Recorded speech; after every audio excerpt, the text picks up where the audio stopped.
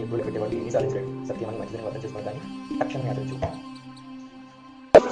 What going on guys భవిష్యత్తులో ఏం జరుగుతుందని లెక్క పెట్టేవాడు? దేన్ని సాధించలేడు.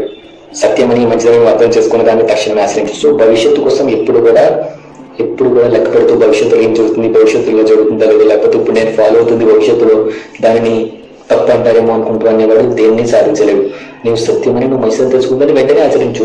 ఎందుకంటే భవిష్యత్తు గురించి సింపుల్గా చెప్పాలంటే భవిష్యత్తు అనేది మన చేతిలో లేదు. కానీ పాస్ట్ని పాస్ట్లో చేసిన తప్పును రిపీట్ చేయకుండా ప్రజెంట్ని జాగ్రత్తగా చూసుకుంటూ ఫ్యూచర్ మన చేతిలో ఆటోమేటిక్గా ఉంటుంది కదా.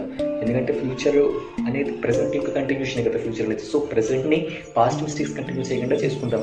అండ్ ఈ రోజు నువ్వు చదివిన దాన్ని ఈ రోజు నువ్వు అర్థం చేసుకున్న దాన్ని సత్యమని మంచిదని నువ్వు అర్థం చేసుకుంటే దాన్ని తక్షణమే ఆచరించు సో ఎవరి గైస్ ఇప్పుడు కూడా భవిష్యత్తు కోసం ఆందోళన పెట్టుకోవద్దు అండ్ బీ బీ స్ట్రాంగ్